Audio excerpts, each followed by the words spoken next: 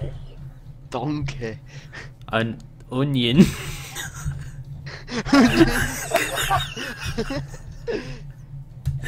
Hey, it's my swamp. I grow me onions here. what is that? I grow What is- onions and donkeys. You watched the Scotland Highlands version of Shrek. Right, mate, it's Shrek here.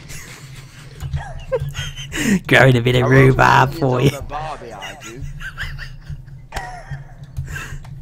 I literally have to tell you the story. There's right, we have like several different postmen slash women that come to our house.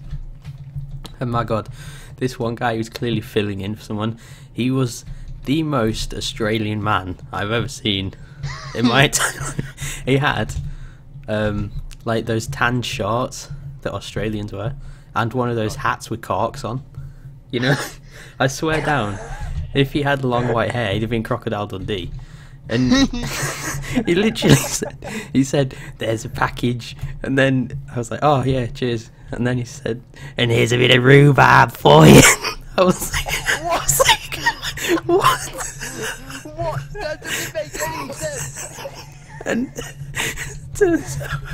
this rhubarb, okay, supposed rhubarb, was the shit letters that nobody wants, like the advertiser and stuff. What? what? Why is that rhubarb? There is nothing that distinctly rhubarbish about it.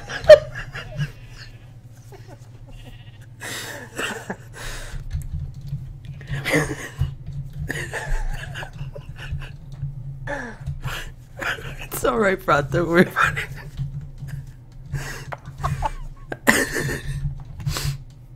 Oh no, I've just been running the wrong. Why?